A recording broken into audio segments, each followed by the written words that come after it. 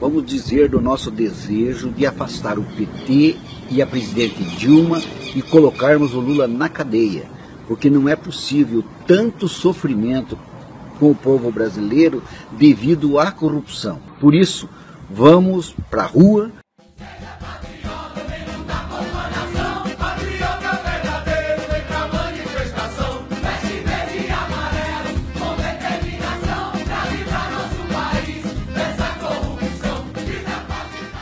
Por isso, vamos para a rua.